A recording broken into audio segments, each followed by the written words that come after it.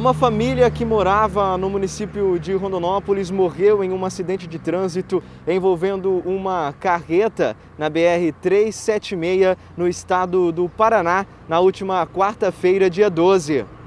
As vítimas foram identificadas como Disley Martins Ramos, de 40 anos, Geisebel Pereira, de 33 anos, Amanda Priscila Souza, de 9 anos, Rebeca Souza Martins, de 3 anos, e Ana Luísa Souza Martins, de 13 anos. Conforme as primeiras informações, as vítimas são a família do motorista que dirigia a carreta. O veículo com placas de Rondonópolis estava carregado com ureia.